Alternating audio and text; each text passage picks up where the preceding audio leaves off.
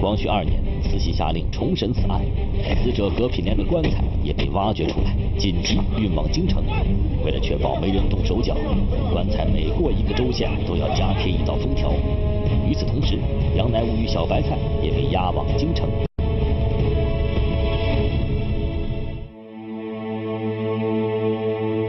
光绪二年十二月，刑部大审后，案情越来越明朗，所有的疑团都聚焦在同一个问题上：小白菜的丈夫葛品莲既然是正常病死，当初仵作的银针又为何会在他的喉咙里测出毒来？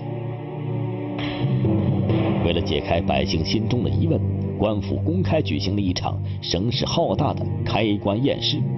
当庭审问刘希同为何篡改证词、买通证人的时候，他前言不搭后语，几度咆哮，滑稽至极。我想这狗急跳墙的时候，也就这副模样吧。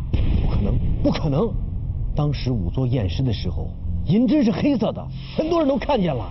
哼，验尸的银针必须经过皂角水多次擦洗。刘希同一听说葛品莲是中毒而死，眼睛立马就亮了。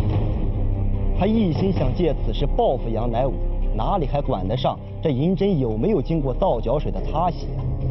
为了保证准确性和权威性，刑部特别请出有着六十一年验尸经验的仵作亲自动手，先后两轮验尸后，最后证实死者的牙齿及喉骨皆呈黄白色，无毒，葛品莲系正常病故。持续了近四年之久的杨乃武与小白菜案，最终真相大白。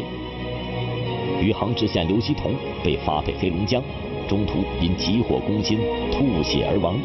他的儿子在一些官员的包庇下侥幸脱罪。与此案相关的浙江巡抚、浙江学台、杭州知府等百余官员被革除顶戴花翎，充军或查办。至此，一场千古冤案终于落下帷幕。我没有进大牢的时候，他们都说我长得好。可当我走出大